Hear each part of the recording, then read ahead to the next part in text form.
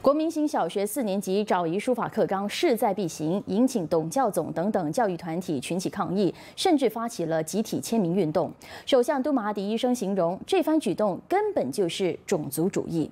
杜马今天在吉打弗罗交仪主持宰生节活动后，当着媒体反问董总。找遗书法课题早在二零一二年就落实，但是为什么董总当时却没有任何举动？杜马认为，因为当时没有言论自由，一旦投诉便会被囚禁。如今改朝换代了，董总才敢出言反对。首相也翻旧账，当年政府成立宏愿学校，董总也是反对，理由是他们担心华裔必须和马来人相处。敦马认为，这或许已经证明董总不喜欢马来人。